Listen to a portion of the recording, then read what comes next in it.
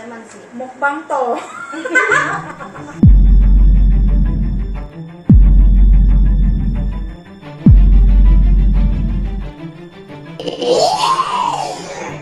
Sa Diyos ko ulit ah, pwede siya pang pulutan. So,